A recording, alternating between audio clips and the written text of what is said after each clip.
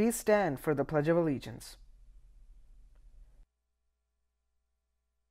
I pledge allegiance to the flag of the United States of America and to the republic for which it stands, one nation, under God, indivisible, with liberty and justice for all.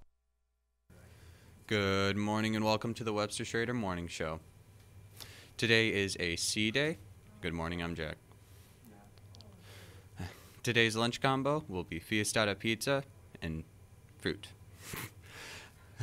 Look, okay.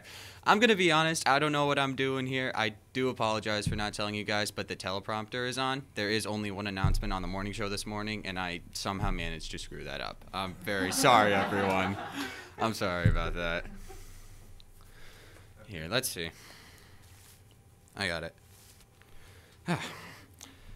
Today's lunch features fiestada, steamed broccoli, and mixed fruit cups. The soup and salad combo is chicken escarole. That's it for me, and that's it for the morning show. Have an amazing day, Warriors.